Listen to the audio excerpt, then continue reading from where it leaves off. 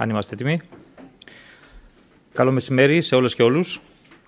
Ο Πρωθυπουργός Κυριάκος Μητσοτάκης μεταβαίνει αύριο Πέμπτη στις Βρυξέλλες για να συμμετάσχει στην έκτακτη συνεδρία του Ευρωπαϊκού Συμβουλίου με θέμα το πολιετές δημοσιονομικό πλαίσιο 2021-2027.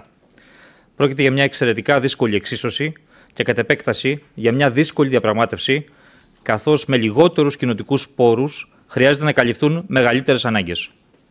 Η Ευρώπη καλείται συγκεκριμένα να αντιμετωπίσει ταυτόχρονα δύο προβλήματα και τέσσερις προκλήσεις. Το πρώτο από τα δύο προβλήματα οφείλεται στο γεγονός ότι μία από τις βασικές χώρες συνεισφοράς, το Ηνωμένο Βασίλειο, αποχώρησε από την Ευρωπαϊκή Ένωση. Και το δεύτερο, στο γεγονός ότι οι χώρες συνεισφοράς επιμένουν σε ένα μειωμένο κοινοτικό προπολογισμό. Σε ό,τι αφορά το πρώτο πρόβλημα, το Brexit συνεπάγεται ένα καθαρό χρηματοδοτικό κενό της τάξης των 10 δισεκατομμυρίων ευρώ ετησίως. Το γεγονός αυτό δυσκολεύει τις διαπραγματεύσεις μεταξύ καθαρών συνεισφορέων και καθαρών αποδεκτών για το ύψος του νέου πολιετούς δημοσιονομικού πλαισίου. Σε ό,τι αφορά το δεύτερο πρόβλημα, η θέση των καθαρών συνεισφορέων ότι το μέγεθος του νέου προπολογισμού πρέπει να παραμένει ποσοστιαία στο 1% του ακαθάριστου εθνικού εισοδήματος της Ευρωπαϊκής Ένωσης, των 27, ενώ πρώτον, η πρόταση του Ευρωπαϊκού Κοινοβουλίου ισοδυναμεί με το 1,3% του ευρωπαϊκού ακαθάριστου εθνικού εισοδήματος ή 1,3 τρισεκατομμυρίων ευρώ. Δεύτερον, η πρόταση της Ευρωπαϊκής Επιτροπής έθετε το συνολικό ύψος του προπολογισμού στο 1,1% του ακαθάριστου εθνικού εισοδήματος ή 1,1 τρισεκατομμυρίων ευρώ. Και τρίτον, η πρόταση του Προέδρου του Ευρωπαϊκού Συμβουλίου, Σάρλ Μισελ, ισοδυναμεί με το 1,074% του ακαθάριστου ευρωπαϊκού ΑΕ ή 1,094 δισεκατομμυρίων ευρώ, δείχνει το μέγεθος του προβλήματος. Συνεπώς, και όπως δήλωσε χθες ο πρόεδρος του Ευρωπαϊκού Κοινοβουλίου, Νταβίτ Σασόλη, είμαστε ακόμη μακριά από μια αποδεκτή πρόταση, καθώς η απόσταση ανάμεσα στην πρόταση του Ευρωπαϊκού Κοινοβουλίου και στην πρόταση του Ευρωπαϊκού Συμβουλίου είναι 230 δισεκατομμύρια ευρώ. Με έναν τόσο μικρότερο κοινοτικό προπολογισμό, θα πρέπει να βρεθούν πόροι για να αντιμετωπιστούν οι τέσσερις προκλήσεις που αφορούν την πολιτική συνοχής, την κοινή αγροτική πολιτική, τη μεταναστευτική προσφυγική κρίση, την κλιματική αλλαγή. Θέλω να υπενθυμίσω ότι ο Πρωθυπουργός Κυριάκος Μητσοτάκης στα τέλη Ιανουαρίου βρέθηκε στις Βρυξέλλες και παρουσίασε στον πρόεδρο του Ευρωπαϊκού Συμβουλίου, Σαλ Μισελ, τις ελληνικές θέσεις.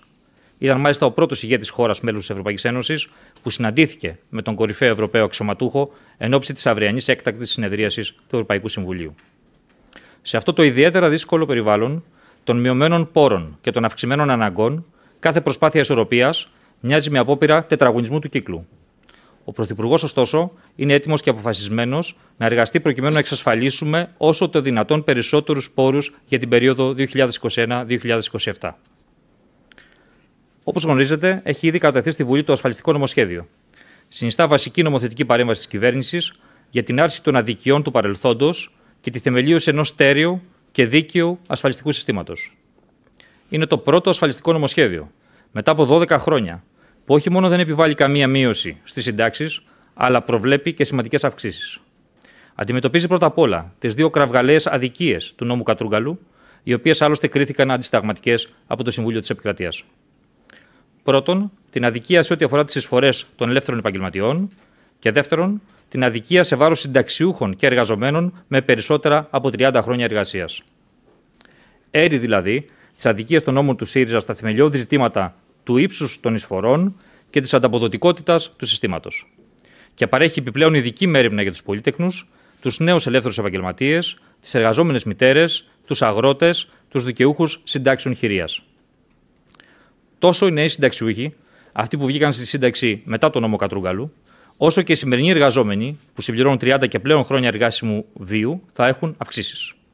Το νομοσχέδιο της κυβέρνησης καλλιεργεί έτσι την ασφαλιστική συνείδηση σε όλους και εμπνέει εμπιστοσύνη στους σημερινούς εργαζόμενους, στις νέες και στους νέους μας. Στους σημερινούς και αυριανούς εργαζόμενους που θα ξέρουν ότι όσο δουλεύουν, τόσο μεγαλύτερη θα είναι η σύνταξή τους.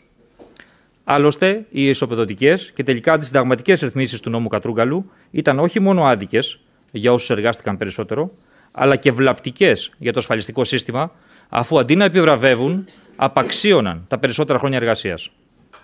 Και κινητροδοτούσαν έτσι την εισφοροδιαφυγή και την αδήλωτη εργασία. Σε ό,τι αφορά τις ασφαλιστικές φορέ των μη μισθωτών, διαμορφώνεται μια κλίμακα με έξι σκαλοπάτια, από τα οποία ο καθένας από αυτούς μπορεί να επιλέξει με αίτησή του εκείνο που επιθυμεί. Ιδιαίτερη σημασία είναι το γεγονός ότι καθιερώνεται και για μια άλλη κατηγορία χαμηλών εισφορών που αφορά τους νέους ελεύθερους επαγγελματίες και αυτοτελώς απασχολούμενους για τα πρώτα πέντε έτη από την έναρξη άσκησης του επαγγέλματό τους. Παράλληλα, καταργείται η διάταξη του νόμου Κατρούγκαλου που βάφτιζε την έκπτωση στις εισφορέ των νέων επαγγελματιών ασφαλιστική οφειλή και που αναζητούνταν από τον ασφαλισμένο στο μέλλον. Με το νομοσχέδιο αυτό καλύπτεται επίσης το κενό νόμου που δημιούργησε ο νόμος Κατρούγκαλου σε βάρος της εργαζόμενης γυναίκας που αποκτά παιδί. Με συγκεκριμένη διάταξη δίνεται έκπτωση 50% σε ασφαλιστικές εισφορέ για τις εργαζόμενες μητέρες. Παράλληλα, με άλλη διάταξη, στηρίζονται οι συνταξιούχοι που θέλουν να συνεχίσουν νόμιμα τον εργασιακό τους βίο. Οι πολύτεκνοι και οι γεωργοί συνταξιούχοι, εφόσον συνεχίσουν να εργάζονται, θα απολαμβάνουν το 100% της σύνταξής τους, ενώ όλοι οι υπόλοιποι συνταξιούχοι, εφόσον εργάζονται, θα λαμβάνουν το 70% της σύνταξής τους. Σε συνέχεια της επίσκεψης του Πρωθυπουργού Κυριάκου Μητσοτάκη στα Ηνωμένα Αραβικά Εμμυράτα, στις αρχές Φεβρουαρίου, πραγματοποιήθηκε προλίγου συνάντηση εργασίας του Φόρουμ Διευρυμένης Στρατηγικής Συνεργασίας Ελλάδα-Ηνωμένων Αραβικών Εμμυράτων στο Μέγαρο Μαξίμου. Στο πλαίσιο του φόρουμ, ο Πρωθυπουργός συναντήθηκε σήμερα το πρωί στο Μέγαρο Μαξίμου με τον επικεφαλής αντιπροσωπείας Υπουργό Επικρατείας των ΗΠΑ Εμμυράτων Σουλτάν Αχμεντ Αλτζαμπέρ. Στη συνέχεια, πραγματοποιούνται σήμερα συναντήσεις υπουργών και στελεχών της κυβέρνησης με τα 30 μέλη της αντιπροσωπείας των ΗΠΑ για ένα ευρύ φάσμα θεμάτων που εκτείνεται από την οικονομία και τις επενδύσεις ως την άμυνα, την ενέργεια, το περιβάλλον, τον πολιτισμό και τον τουρισμό.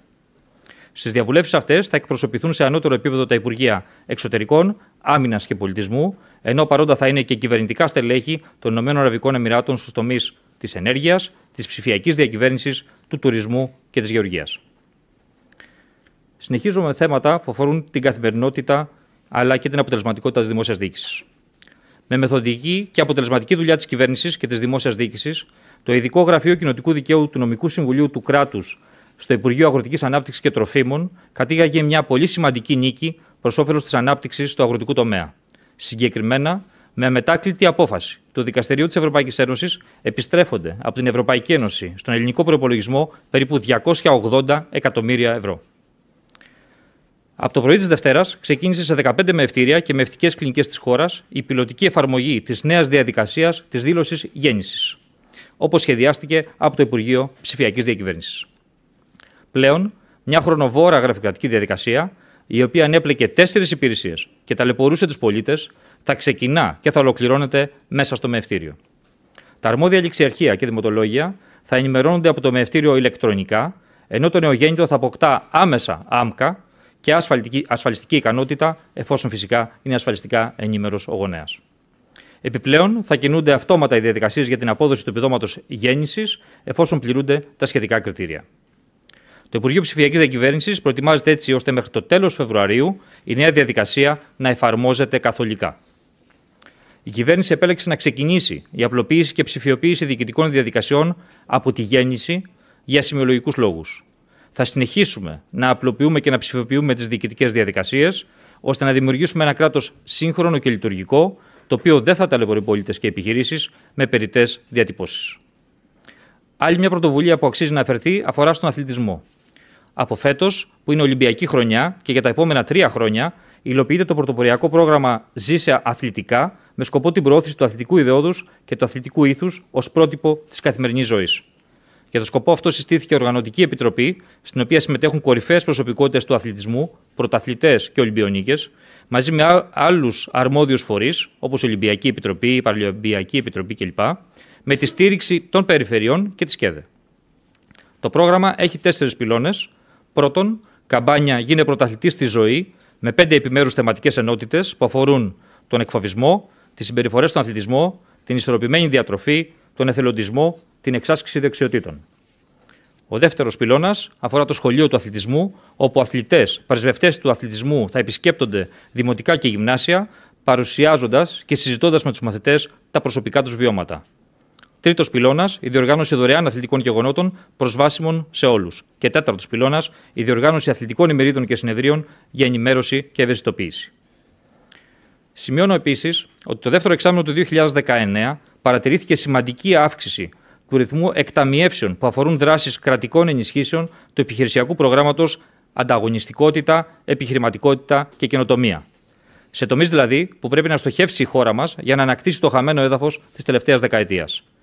Μέσα στο τελευταίο επτάμινο. Διοχετεύτηκαν 650 εκατομμύρια ευρώ στην πραγματική οικονομία για δράσεις ποιοτικού εξυγχρονισμού μικρομεσαίων επιχειρήσεων, την ενίσχυση τουριστικών πολύ μικρών και μικρών επιχειρήσεων σε Αττική και Κρήτη, για την προμήθεια εξοπλισμού πρόσβασης και βοηθητικών εγκαταστάσεων για εξυπηρέτηση ΑΜΕΑ σε παραλίες του Δήμου Ρεθύμνης, την ανάπτυξη ευρυζωνικών υποδομών σε αγροτικές λευκές περιοχές της ελληνικής επικράτειας και υπηρεσίες εκμετάλλευσης, αξιοποίησης των υποδομών σχεδόν σε όλες τις περιφέρειες της χώρας, συγκεκριμένα στις περιφέρειες Ανατολικής Μακεδονίας Θράκης, Υπήρου, Θεσσαλίας, Ιωνίων Νήσων, Δυτικής Ελλάδας, Πελοποννήσου, Κρήτης και Βορείου Αιγαίου. Αξίζει επίσης να σημειωθεί ότι έγινε πληρωμή 100 εκατομμυρίων ευρώ ως δεύτερη δόση προς την Ελληνική Αναπτυξιακή Τράπεζα, προκειμένου να συμμετέχει μέσω των ελληνικών τραπεζών στη δανειοδότηση μικρομεσαίων επιχειρήσεων σε ποσοστό 40% επί του κάθε δανείου. Προχωρώ στο πρόγραμμα του Πρωθυπουργού. Αύριο Πέμπτη, όπως προανέφερα και πριν, ο Πρωθυπουργός Κυριάκος Μητσοτάκη θα, Μητσοτάκη θα μεταβεί στις Βρυξέλλες για να παραστεί στην έκτακτη σύνοδο κορυφής για τον Ευρωπαϊκό Προπολογισμό. Την Κυριακή το πρωί θα προεδρεύσει στη συνεδρίαση της Πολιτικής Επιτροπής της Νέας Δημοκρατίας. Τη Δευτέρα το απόγευμα θα συναντήσει την πολιτική ηγεσία του Υπουργείου Μετανάστευσης και Ασύλου. Σας ευχαριστώ πολύ και παρακαλώ για τις ερωτήσεις σας.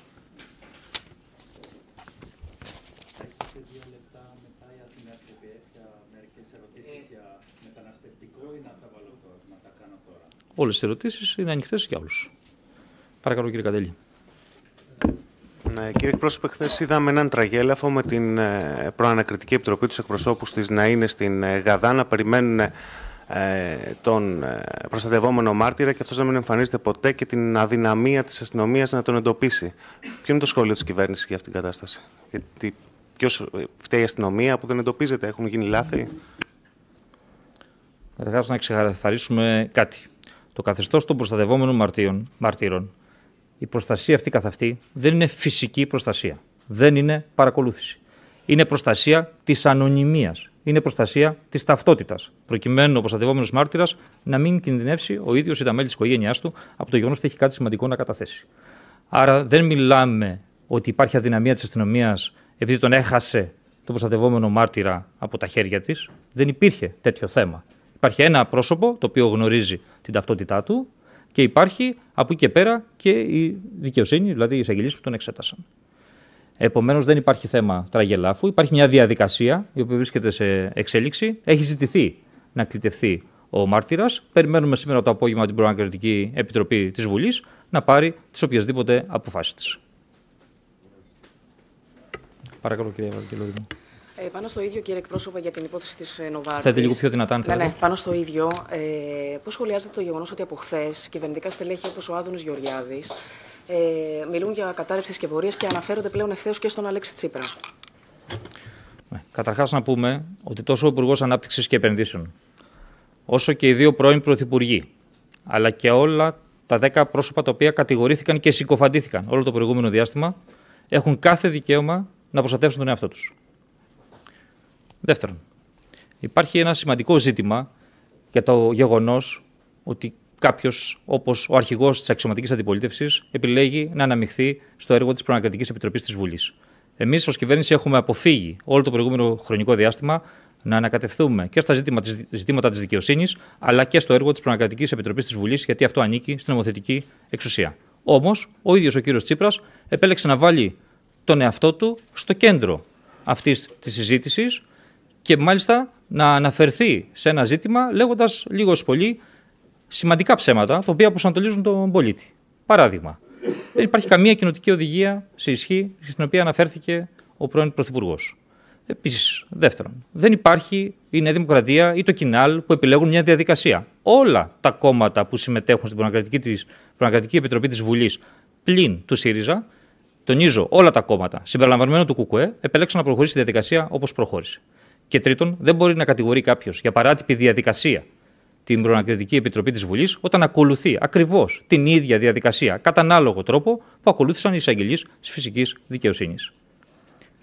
Πέραν από αυτό, θέλω να πω, σχολιάζοντας μόνο τη δήλωση του αρχηγού της Αξιωματικής Αντιπολίτευσης και επαναλαμβάνω, όχι τη δικαιοσύνη, όχι την Προανακριτική Επιτροπή της Βουλής, ότι ο κύριος Τσίπρας προφανώς βρίσκεται σε πανικό, γιατί αλλιώς δεν μπορεί να δικαιολογηθεί το γεγονός ότι μόλις πριν από λίγες ημέρες, στον απολογισμό, στο δίθεν απολογισμό της Κεντρικής Επιτροπής του ΣΥΡΙΖΑ για την περίοδο της διακυβέρνησης από τον ΣΥΡΙΖΑ, υπάρχει στη σελίδα 57 μια αρετή αναφορά, και σας την δείχνω εδώ, που λέει ότι θα πρέπει να είναι κανείς προσεκτικός σε τέτοιες περιπτώσεις, να συλλέγει τα όποια ευρήματα υπάρχουν και να αφήνει τη δικαιοσύνη να προχωρήσει στο έργο της. Σας παραπέμπω, σελίδα 57 του απολογισμού. Πώς συγκρίνεται αυτή η δήλωση του κ. Τσίπρα, η οποία δείχνει ένα πρωτοφανή πανικό με τα συμπεράσματα τα οποία υιοθέτησε η Κεντρική Επιτροπή του ΣΥΡΙΖΑ πριν από λίγες ημέρες. Α απαντήσει ο κ. Τσίπρας. Παρακαλώ. Συγγνώμη, δύο σκέλια έχει η ερώτησή μου. Πρώτον, πώς τοποθετήσετε απέναντι στην, ε, ε, στην υποβολή αναφοράς στην κυρία Βιωροβασίλη τώρα και τον κύριο Λάπα, στον εισαγγελέα του Αριού Πάγου, για το όσο συμβαίνουν στην προανακριτική. Γιατί είπε ο κύριος Λάπας πριν από λίγο ότι θεωρείται βέβαια η καταδίκη μας αν οι μάρτυρες εξεταστούν χωρίς κουκούλες. Ε, Όπως όπως πάει να γίνει. Και δεύτερον, ε, ε, είπατε, απαντήσετε προηγουμένως για το, για το καθεστώς προστασίας των ανωνυμένων μαρτύρων. Αυτό περιμένετε δηλαδή να γίνει και σήμερα με τη δεύτερη μάρτυρα. Αν γίνει και αυτό που σήμερα εξαφανιστεί και η δεύτερη μάρτυρα από εκεί πέρα η κυβέρνηση, πώς θα ενεργήσει. Ευχαριστώ, η αστυνομία. Καταρχάς, στο πρώτο σκέλος της ερώτηση εντάσσεται μέσα σε αυτό που είπα και πριν, στο μικρό ή μεγάλο ψέμα, χαρακτηρίζεται όπως θέλετε εσείς που αναφέρθηκε χθες ο αρχηγός εξωματική αντιπολίτευσης. Δεν υπάρχει καμία παράτυπη διαδικασία. Ζητήθηκε η κατανάλογο τρόπο εξέταση. Η κατανάλογο τρόπο εξέταση σημαίνει αυτό το οποίο έκανε ο εισαγγελέας, ο οποίος εξέτασε τον μάρτυρα Σαράφη, ότι θα έκανε και προνακριτική επιτροπή της Βουλής, η οποία έχει τις ίδιες ακριβώς αρμοδιότητες. Άρα δεν βλέπουμε κάτι παράτυπο. Εκτός αν θεωρεί κανείς ότι παράτυπος ήταν ο εισαγγελέας του Αριουπάγου αν η παρανομία έγινε εκεί. Αυτό είναι θέμα της δικαιοσύνης, δεν θέλουμε να σχολιάσουμε τίποτα παραπάνω ε, γι' αυτό. Όσον αφορά το, ε, το άλλο ζήτημα που θέτεται. Όντως υπάρχει στις 4 η ώρα το απόγευμα μια δεύτερη συνεδρίαση της Προανακριτικής Επιτροπής με τη δεύτερη προστατευόμενη ε, μάρτυρα. Αναμένουμε να δούμε αν και η ίδια θα προσέλθει ή όχι. Από εκεί και πέρα είναι στο χέρι της Προανακριτικής Επιτροπής της Βουλής και όχι της κυβέρνησης το πώς θα προχωρήσει. Υπάρχουν διάφορα εργαλεία στην ε, διάθεσή της, φαντάζομαι, το οποίο θα επιλέξει με τον κατάλληλο τρόπο η Προγραμματική Επιτροπή προκειμένου να προχωρήσει στις διαδικασίες. Αυτό που είναι βέβαιο είναι ότι οι διαδικασίες δεν έχουν χρονικό ορίζοντα, δεν λήγουν. Δηλαδή, μπορεί να κλητευτεί ο μάρτυρας, να παραστεί ο μάρτυρας και στο μέλλον και υπάρχουν πάντα οι δυνατότητες να συνεχίσει η εξέταση άλλων μαρτύρων μέχρι να κλητευτούν οι προστατευόμενοι μάρτυρες. Αλλά υπάρχουν και άλλα εργαλεία στα χέρια της Προγραμματική Επιτροπής. Αυτό που είναι βέβαιο ότι έχουν ήδη υπάρξει σημαντικές καταθέσεις στην υπόθεση αυτή και θα ακολουθήσουν και άλλες. Και περιμένουμε να δούμε πού τελικά θα καταλήξει το πόρισμα της Επιτροπής πριν η κυβερνητική πλειοψηφία, εφόσον με ρωτήσατε γι' αυτό, λάβει τις όποιε αποφάσεις της. Παρακαλώ. Ε, αν θυμάμαι καλά, δηλώσατε προηγούμενη εβδομάδα όσο αφορά την οικοδομή κλειστών κάμπ στα νησιά hotspot ότι ο διάλογος δεν μπορεί να είναι δικαιολογία για αδράνεια. Ε, τι σημαίνει αυτό συγκεκριμένα αν σκληραίνουν οι μέτωποι με τους νησιώτες, πώς θα ε, εγκαταστήσετε αυτά τα κάμπ, δηλαδή συνεχίζει; Αν γίνουν από τη σημερινή δήλωση του κυρίου Περιφερειάρχη, του κυρίου Μουτζούρη, δεν σκληραίνουν τη στάση τους, αλλά μάλλον την χαλαρώνουν. Αυτό που εμείς είμαστε αποφασισμένοι να κάνουμε είναι να προχωρήσουμε στο σχεδιασμό μας, δεν υπάρχει άλλη ε, οδός παρά μόνο η υλοποίηση του κυβερνητικού σχεδίου. Μέσα στο σχέδιο το κυβερνητικό υπάρχει η κατασκευή των κλειστών δομών. Υπάρχει αυτό το χρονικό διάστημα το οποίο συζητήθηκε, δηλαδή μέχρι το τέλος αυτής της εβδομάδας, και από την άλλη εβδομάδα θα είμαστε έτοιμοι να προχωρήσουμε στην κατασκευή των, στα πρώτα έργα για την κατασκευή των κλειστών δομών. Και το μόνο το οποίο είχε μείνει ανοιχτό προς συζήτηση με την τοπική αυτοδιοίκηση ήταν αν εκείνες ήταν σε θέση να υποδείξουν κάποιους άλλους χώρους οι οποίοι θα ήταν κατάλληλοι και θα πληρούσαν τις προποθέσει για την κατασκευή των κλειστών δομών. Μόνο γι' αυτό συζητάμε. Εμείς από Δευτέρα θα είμαστε έτοιμοι να προχωρήσουμε στα, στα απαραίτητα έργα. Ακόμα και αν χρειαστεί μια ζώνη μάτι, στρατό. Ή... Θα κάνουμε ό,τι χρειαστεί για να γίνει, να, να ολοκληρωθεί το κυβερνητικό σχέδιο. Μέσα στο κυβερνητικό σχέδιο είναι και κλειστέ δομές. Δεν βλέπω κανένα λόγο να αντιδράσει κανείς όταν είναι προς όφελος όχι μόνο της χώρας στο σύνολό της, αλλά ιδίως των τοπικών κοινωνιών. Και αν θέλει κανείς να είναι πιο συγκεκριμένος. Έχουμε κάποια στοιχεία τα οποία το τελευταίο διάστημα δείχνουν, για παράδειγμα, μια επιτάχυνση των διαδικασιών απονομής ασύλου ή απόρριψης αιτήσεων ασύλου. Θέλουμε να επιδώσουμε τα αποτελέσματα αυτά και σε ένα πολύ μεγάλο ποσοστό δεν βρίσκονται οι άνθρωποι που πρέπει να πάρουν τα ειδοποιητήρια ότι απερίφθη το αίτημά τους ώστε να γυρίσουν ανατολικά ή δικαιώθηκε το αίτημά τους ώστε να πάνε δυτικά. Γιατί μέσα στις άναρχες δομές δεν βρίσκει κανείς πολλές φορές άκρη με την ταχύτητα την οποία θα έπρεπε να υπάρχει. Φαντάζομαι οι τοπικές κοινωνίες όταν ζητούν αποσυμφόρηση των νησιών και αυτά τα δύο στοιχεία, η απονομή ασύλου ή η επιστροφή, είναι βαλβίδες αποσυμπίεση, να επιδιώκουν μια κλειστή δομή που θα υπάρχει μια τάξη ώστε να επιτυχάνεται ταχύτερα αυτός ο στόχος. Κύριε Χρυστάκου. Καλή επιτυχία καταρχά. Ευχαριστούμε πολύ κύριε Υπουργέ. Την περα... Τις περασμένες ημέρες είδαμε, ακούστηκαν, γράφτηκαν, λέχθηκαν πάρα πολλά για τον σχεδιασμό της κυβέρνησης. Ιδιαίτερα από τη στιγμή που ο κύριος Μηταράκης μαζί με τον Περιφερειάρχη στην ΕΡΤ συνομολόγησαν ότι θα δοθεί και μία εβδομάδα παράταση. Θα ήθελα να σας ρωτήσω εάν όλο αυτό ήταν στο σχεδιασμό της κυβέρνησης ή αν ο κύριος Μηταράκης ενεργούσε ή ενεργεί αυτοβούλος όπως βλέπω γράφεται και ακούγεται τριγύρω και αν ο σχεδιασμός, γιατί να πάμε και λίγο μπροστά, είναι αυτός ο οποίος εκινήθηκε αρχικά. Δηλαδή οι συγκεκριμένες οριοθετημένες, χωροθετημένες περιοχές, τα συγκεκριμένα κέντρα στους συγκεκριμένους ε, προβλεπόμενους ε, χώρους και στο προβλεπόμενη ε, χρονική διάρκεια που αυτές έχουν επιλεγεί. Ευχαριστώ. Ξεκινώντας από το δεύτερο σκέλος, έχουμε πει ότι εξαντλήθηκε και ίσως τράβηξε και παραπάνω από ό,τι θα έπρεπε ο διάλογος με τις τοπικές κοινωνίες και την τοπική αυτοδιοίκηση προκειμένου να βρεθεί μια αμοιβαία κοινώς αποδεκτή λύση. Δεν κατέστη αυτό δυνατό, γι' αυτό αποφασίσαμε να προχωρήσουμε με την πράξη νομοθετικού περιεχομένου για τη συγκεκριμένη χωροθέτηση των συγκεκριμένων ε, περιοχών. Αυτός ο σχεδιασμός προχωράει. Δεν έχει αλλάξει λοιπόν σε κάτι. Το μόνο που έμεινε προς διευκρίνηση, επαναλαμβάνω, ήταν αν οι τοπικές κοινωνίες, δια της τοπικής αυτοδιοίκησης, του Περιφερειάρχη, των Δημάρχων, ήταν σε θέση να έρθουν μέσα σε αυτήν την εβδομάδα και να προτείνουν εναλλακτικές περιοχές που να πληρούν όμως τις προποθέσει που χρειάζεται για αυτές τις κλειστές δομές. Δεν έχουμε δει κάτι μέχρι τώρα.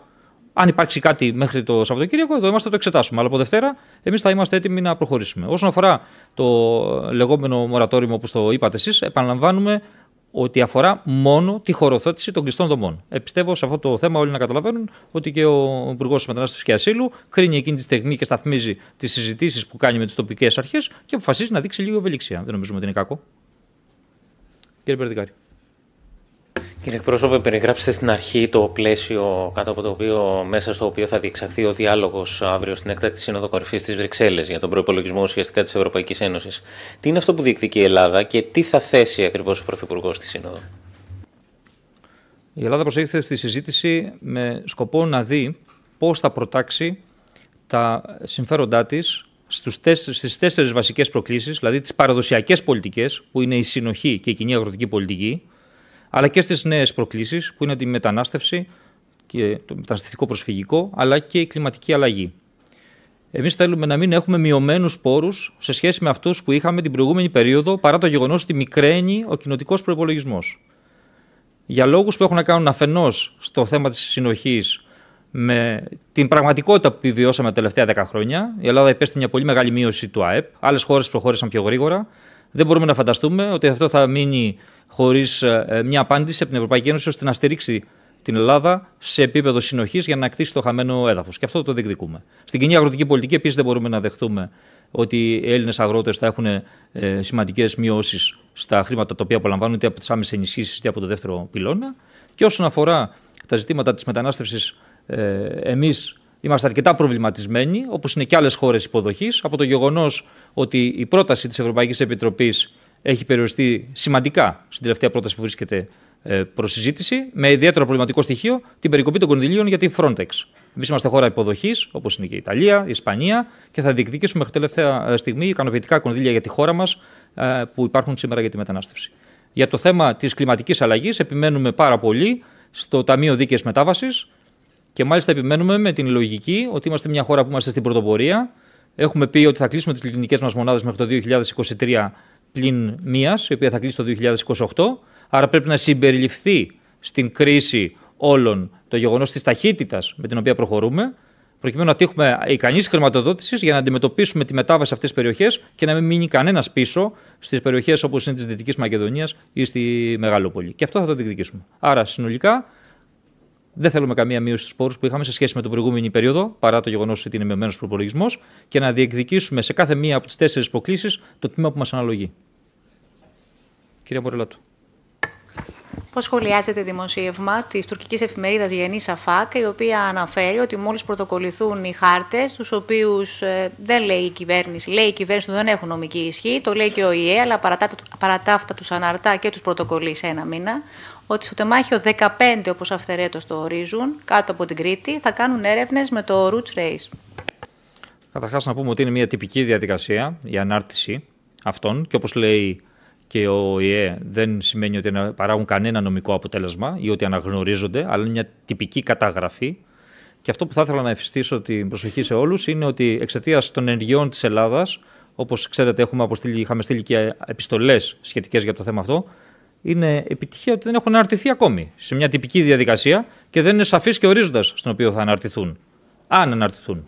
Επομένως, αφήνουμε ανοιχτό το θέμα αυτό, αλλά εμείς δεν μας ενδιαφέρει να μείνουμε μόνο στο τυπικό ζήτημα, αλλά να επικεντρωθούμε στο ουσιαστικό, που είναι ότι δεν παράγει κανένα νομικό αποτέλεσμα αυτή η άκυρη συμφωνία για αυτούς τους χάρτες, όπως δεν παρήγαγε κανένα αποτέλεσμα νόμιμο ή παρόμοια κίνηση που είχε κάνει η Τουρκία με το ψευδοκράτος το 2014. Παρακαλώ.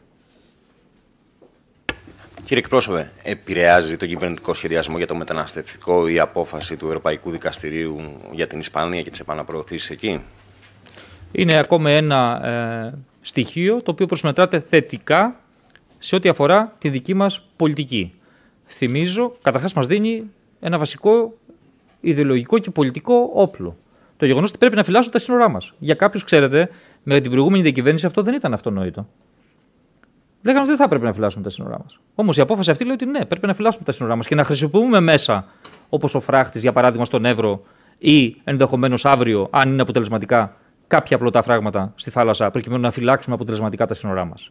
Επίσης, μιλάει για διαδικασίες εισόδου στις χώρες υποδοχής που αξίζουν να διερευνηθούν, θα συζητηθούν σε ευρωπαϊκό επίπεδο. Δεν θέλουμε να βγάλουμε βιαστικά συμπεράσματα. Συνομιλούμε με τους εταίρους μας και πιστεύουμε ότι όλες αυτές οι αποφάσεις τελικά είναι προς το συμφέρον της Ευρώπης, προκειμένου να διαμορφώσει ένα κατάλληλο πλαίσιο που θα θεωρήσει το Δουβλίνο 3 και μέσα στο δεύτερο εξάμεινο του 2020 να έχουμε ένα Δουβλίνο 4 για την καλύτερη αντιμετώπιση του προσφυγικού μεταναστευτικού προβλήματος.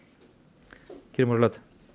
Κύριε εκπρόσωπε, στο φόντο και των χθεσινών απεργιακών κινητοποιήσεων ασκείται κριτική στην κυβέρνηση από την αντιπολίτευση πρωτίστως ότι έχει αργήσει αυτή η ρύθμιση για το προσωπικό ασφαλείας, ιδίως στα μέσα μαζικής μεταφοράς. Και θα ήθελα να μας διαφωτίσετε, αν έχετε την συγκεκριμένη πληροφόρηση, πότε θα τη δούμε αυτή τη διάταξη, σε ποιο νομοσχέδιο έρχεται και τι θα περιλαμβάνει. Ευχαριστώ.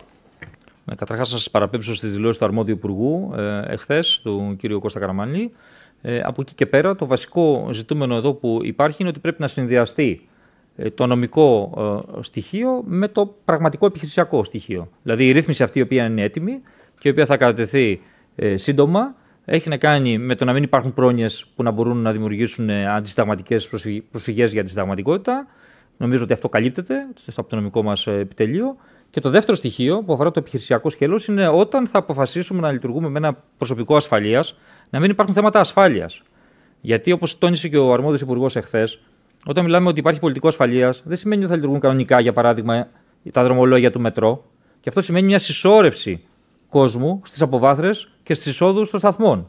Αυτά τα ζητήματα απαιτούν ένα επιχειρησιακό σχέδιο, το οποίο θα προβλέπει ό,τι πρέπει να προβλέπει, προκειμένου η διακίνηση των επιβατών να είναι με ασφάλεια. Το οποίο είναι το πρώτο στο κατοίκον του κράτους. Επομένως, στο νομικό σκέλος είμαστε έτοιμοι, στο επιχειρησιακό θέλουμε λίγο χρόνο, αλλά θα προχωρήσουμε σχετικά σύντομα. Παρακαλώ. Ε, σε ένα άλλο θέμα που αφορά στο Brexit, στις διαπραγματεύσεις για το Brexit, στο τελευταίο προσχέδιο των θέσεων της Ευρωπαϊκής Ένωσης έχει προσθεθεί ένας όρος που παραπέμπει καθαρά στην επιστροφή των γλυπτών του Παρθενώνα. Πρόκειται για ελληνική πρωτοβουλία. Και αν όντως είναι αυτή η θέση, που είναι η θέση της ελληνικής κυβέρνησης να επιστραφούν τα, τα γλυπτά, ε, είναι κόκκινη γραμμή για, τη, για πιθανή έγκριση της ε, συμφωνίας αργότερα. Το αίτημα της Ελλάδας για επιστροφή των γλυπτών του Παρθενώνα παραμένει ισχυρό και δεν συνδέεται ε, με την συμφωνία της Ευρωπαϊκής Ένωσης με το, με το Brexit. Θα συνεχίσουμε να το διεκδικούμε συνεχώς. Αν αυτό είναι ένα εργαλείο που μπορούμε να το χρησιμοποιήσουμε, θα το σταθμίσουμε στην πορεία. Ε, δύο πράγματα μου επιτρέπετε, κύριε εκπρόσωπε, σε σχέση με το νέο ασφαλιστικό και, τις, ε, και τη χθεσινή απεργία. Ε, αρχικά, αν σας προβληματίζει καθόλου η, η συμμετοχή χθες της κινητοποίησης, ε, πώ το σχολιάζετε δηλαδή αυτό. Και δεύτερον, αν σας προβληματίζει, ε, αν σας προβληματίζουν οι αναφορές που φαίνεται να κάνει το ελεγκτικό συνέδριο περί αντισυνταγματικότητας στο νομοσχέδιο. Ευχαριστώ. Στο δεύτερο, όχι, αλλά φαντάζομαι αυτό θα συζητηθεί και σήμερα στην αρμόδια επιτροπή της Βουλής, άρα δεν έχω να προσθέσω κάτι. Ε, στο πρώτο, εμείς ξέρετε ότι δεν μπορούμε να μπούμε στη λογική ποιες απεργίες είναι καλές και ποιες απεργίες είναι κακές. Οι ίδιοι εργαζόμενοι θα αποφασίσουν για τη συμμετοχή σε αυτές ανάλογα με τα συμφέροντά τους. Αυτό που έχει σημασία είναι να λαμβάνονται με έγκαιρη προειδοποίηση, να μην τελεπορείται ο κόσμος αδικαιολόγητα, όπως είδαμε εχθές για παράδειγμα να συμβαίνει στο Βορειοαστιακό, και από εκεί και πέρα ο κάθε ένα έχει δικαίωμα στο πλαίσιο του συντάγματος και των νόμων να διαδηλώσει τη διαμαρτυρία του. Παρακαλώ. Κύριε εκπρόσωπε, επανέρχομαι στο ασφαλιστικό και θέλω να σας ρωτήσω αν εξέτασε ο ΣΥΡΙΖΑ κάποιους πίνακες ε, οι οποίοι δείχνουν επιβάρυνση των μη μισθωτών βάσει των νέων εισφορών. Και μάλιστα είχε και τα νούμερα, τα συγκεκριμένα, που είναι περίπου 400 ευρώ το χρόνο από την, στην πρώτη κλίμακα. Από την άλλη πλευρά, ε, φαίνεται ξεκάθαρο ότι δεν είναι τόσο, έτσι λένε τουλάχιστον, ευνοημένη η μεγάλη πλειοψηφία των συνταξιούχων. Είναι μικροί αυτοί που θα πάρουν μια, ένα μικρό ποσοστό αυξήσεις και ένα μεγαλύτερο ποσοστό δεν θα πάρει αυξήσεις. Τι απαντάτε σε αυτή την κριτική; Way min φαρισαίοι υποκριτές. Πρόταση δεν έκανε ο κύριος Τσίπρας προχθές να φτάσει 751 ευρώ ο κατώτατος μισθός. Πόσο θα ήταν η κατώτατη εισφορά για αυτούς για τους οποίους κόπτεται σήμερα; Ξέρετε, μέχρι χτες ήταν συνδεδεμένο το καθεστώς των κατώτατου μισθού με τις με τον, με τις ασφαλιστικές εισφορές των ανθρώπων για τους οποίους υποτίθεται ενδιαφέρει τόσο πολύ ο ΣΥΡΙΖΑ. Με την αύξηση του κατώτατου μισθού θα ανέβαινε και η κατώτατη ασφαλιστική κατηγορία. Εμείς τι λέμε, ότι δεν θέλουμε μια βεβαιότητα που να συνδέεται με το κάτω του μισθό. Δεν θέλουμε αυτό να πηγαίνει, ε, να είναι σε ένα χρόνο, όπως για παράδειγμα θα θέλει ο κύριος Τσίπρας. Λέμε από τώρα ότι αλλάζουμε τον τρόπο υπολογισμού, αποσυνδέουμε την ασφαλιστική εισφορά από το εισόδημα, γιατί είχαμε παρατηρήσει φαινόμενα εισφοροδιαφυγή και φοροδιαφυγής. Και λέμε, θα έχετε ξεκάθαρες κατηγορίες. Επιλέξτε είναι προς το συμφέρον σας μεγαλύτερη κατηγορία, αν το θέλετε, γιατί θα έχετε μεγαλύτερη σύνταξη και αν το αντέχετε. Αλλά έχετε μια προβλεψιμότητα όσον αφορά το ποιες θα είναι οι εισφορές σας για τα επόμενα χρόνια. Παρακαλώ. Κύριε εκπρόσωπε, για το προσφυγικό, με τις μεταφορές των προσφύγων και μεταναστών από, την, από τα νησιά στην ενδοχώρα, τι γίνεται, ε, συνεχίζει η διαδικασία; Και αν ναι, υπάρχουν ε, δομές στην ενδοχώρα που μπορούν να πάνε οι πρόσφυγες και οι μετανάστες; Και το δεύτερο με τις επιστροφές προς την Τουρκία, αν έχετε συγκεκριμένους αριθμούς. Ευχαριστώ. Σε αυτή τη φάση έχουμε επικεντρωθεί στην κατασκευή των κλειστών δομών, στην επιτάχυνση του ασύλου και, όπως λέτε, στις επιστροφές όχι τόσο στις ε, μεταφορές προς την ενδοχώρα. Άρα, περιμένετε ε, τις επόμενες εβδομάδες να εξελιχθεί πρώτα το σκέλος που αφορά αυτές τις τρεις περιοχές προτεραιότητας και θα είμαστε εδώ να τα ξανασυζητήσουμε. Οι επιστροφές, ο στόχος μας είναι ξεκάθαρος. Να είναι 200 επιστροφές την εβδομάδα, σχετικά σύντομα, να μπορέσουμε να υλοποιήσουμε το σχέδιό μας. Πιστεύουμε με την διαδικασία που έχουμε δει να εφαρμόζεται τις πρώτες 45 μέρες μετά την εφαρμογή του νέου νόμου για το άσυλο, ότι η επιτάχυνση των διαδικασιών είναι σημαντική. Άρα υπάρχει ένα αρκετά μεγάλο αριθμό, ένας μεγα, μεγάλος αριθμός ανθρώπων που θα μπορούσαν να φύγουν από τα νησιά είτε επειδή έχουν πάρει άσυλο και να φύγουν, επαναλαμβάνω, δυτικά, Αθήνα, Θεσσαλονίκη, Ευρώπη, είτε ανατολικά προς την Τουρκία. Και περιμένουμε αυτό να το ξετυλίξουμε ακόμα περισσότερο και θα είμαστε σε θέση να δώσουμε στατιστικά στοιχεία προς το τέλος του μήνα. Παρακαλώ. Ε, συνεχίζονται οι συζητήσεις για τα μέτρα οικοδόμησης εμπιστοσύνης στο Υπουργείο Άμυνας, όπου από αυτά που βγαίνουν προς τα έξω βλέπουμε δύο παράλληλους μονολόγους. Δηλαδή, το ένα ζητάει η ελληνική πλευρά, το ακριβώς αντίθετο τουρκική. Έχετε κάποια αισιοδοξία για την κατάληξη αυτών των συζητήσεων, ή βλέπετε ότι θα καταλήξουμε σε κάποια διέξοδο; Δεν θα ήθελα να προδικάσω το, την κατάληξη των συζητήσεων. Εμείς επιθυμούμε πάντα ε, τον διάλογο με πνεύμα καλής διάθεσης και με την τήρηση των κανόνων καλής γειτονίας να βρεθούν ε, οι λύσεις οι οποίες χρειάζονται στα, στα προβλήματα. Θα περιμένω να δω την κατάληξη και μετά θα το σχολιάσουμε. Κύριε Περδικάρη. Μας είπατε για το νομοσχέδιο αυτό για το προσωπικό ασφαλεία στα μέσα μεταφοράς της απεργίας. Υπάρχει άλλο ένα νομοσχέδιο σε κρεμότητα για τις πορείες. Έχουμε κάτι νεότερο από αυτό; Το νομοσχέδιο για τις ε, πορείες δεν έχει, υπό την έννοια τη καθυστέρηση, δεν έχει καθυστερήσει. Απλώς εμείς προχωρούσαμε για να είμαστε πολύ προσεκτικοί παράλληλα, εκτός από το νομοσχέδιο και τη δευτερογενή νομοθεσία. Δηλαδή, προεδρικό διάταγμα και υπουργική απόφαση που θα συνοδεύουν το νομοσχέδιο, ώστε να είμαστε σχετικά έτοιμοι για το επιχειρησιακό σκέλος.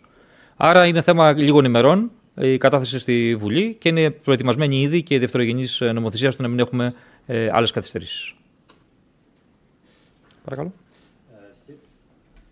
Σχετικά με ε, την, τη ροή μεταναστών και προσφύγων, ακόμα και αν δίνουν αποτέλεσμα όλα αυτά τα μέτρα, όπως φράχτη, επιστροφές κτλ. Έτσι και αλλιώς το αριθμό ατόμων ξένων που που ψάχνουν μια πατρίδα θα αυξηθεί στη χώρα. Υπάρχουν, υπάρχει εδώ ένα σχέδιο ενσωμάτωσης ε, μεταναστών και προσφύγων και ποιοι είναι οι άξονες. Όπως έχουμε πει πολλές φορές ε, στο παρελθόν, ε, οι Έλληνες, όχι μόνο θέμα της κυβέρνησης, αλλά η ελληνική κοινωνία, έχει αγκαλιάσει το παρελθόν και θα συνεχίσει να το κάνει. Όλους όσους είναι κατατραγμένοι, άρα τους πρόσφυγες, αλλά και αν σκεφτείτε μια χώρα μετά από τόσα χρόνια κρίσης, είναι αδύνατο να ενσωματώσει οικονομικούς μετανάστες. Άρα, λέμε, στέλνουμε το μήνυμα ότι όσοι δεν έχουν το προσφυγικό προφίλ, ας μην έρθουν προς την Ελλάδα, γιατί αυτή τη στιγμή δίνουμε προτεραιότητα να μπορέσουμε να διαχειριστούμε ένα μεγάλο αριθμό ε, ανθρώπων με προσφυγικό προφίλ και να ανατάξουμε την οικονομία της χώρας μας και δεν υπάρχει χώρος για οικονομικούς μετανάστες να μην δώσουν τα χρήματά τους σε διακινητές, θα τα χάσουν. Κατάλαβα, αλλά αυτοί που ε, αναγκαστικά πρέπει να τους ενσωματώνουμε στο κοινωνικό ιστό. Ευχαριστώ. Ε, τι, τι προβλέπετε και τι ελπίζετε από την Ευρώπη σε θέμα αλληλεγγύης και Dublin 4. Ε, Όπως είπα και πριν, είμαστε πολύ προβληματισμένοι από το γεγονός ότι ενώ έχει κάνει η Κομισιόν μια γενναιόδορη πρόταση για αύξηση των κονδυλίων για το μεταναστευτικό προσφυγικό, το Ευρωπαϊκό Συμβούλιο έχει κόψει και το κομμάτι της αλληλεγγύης και της ενσωμάτωσης και αυτών των δαπανών, όπως λέτε, κατά περίπου το 1 τρίτον, δε τη Frontex που αφορά την προστασία των συνόρων περίπου στο μισό. Εμείς θα παλέψουμε για να αυξηθούν αυτά, ώστε προκειμένου η αλληλεγγύη να μην είναι στα λόγια, να είναι στα έργα. Παρακαλώ. Κύριε εκπρόσωπε, ένα άλλο θέμα. Τη Δευτέρα στην Θεσσαλονίκη θα γίνει μια διάσκεψη για τα Δυτικά Βαλκάνια.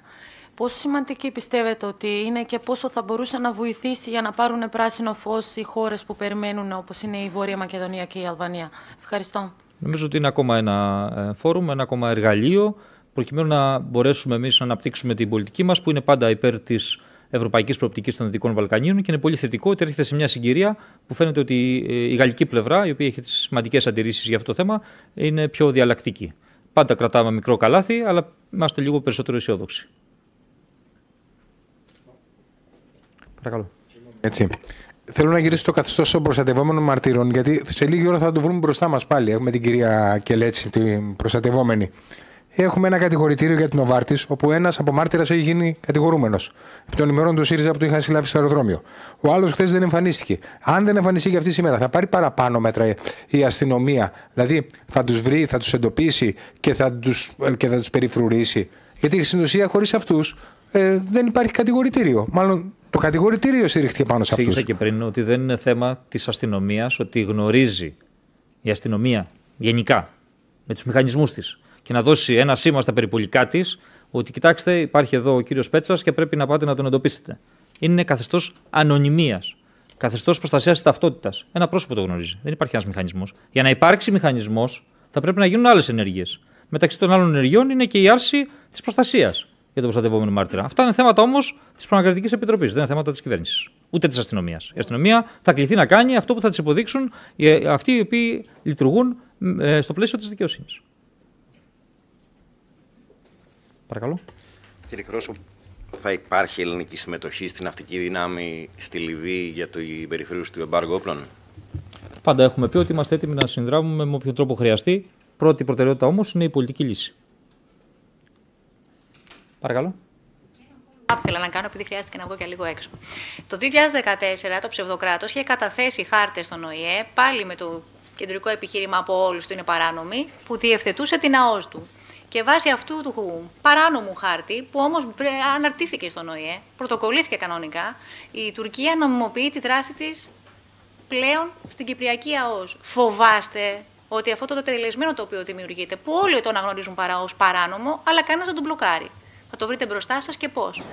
Όταν αναγκαστήκατε να βγείτε έξω, είπα ακριβώς αυτό. Το γεγονός ότι και τότε υπήρξε αυτή η ε, αυτοί οι χάρτες ΑΟΣ εντός εισαγωγικών μεταξύ Τουρκίας και ψευδοκράτους και το γεγονός ότι ε, πρωτοκολλήθηκαν δεν σημαίνει ότι παράγουν κάποιο νόμιμο αποτέλεσμα.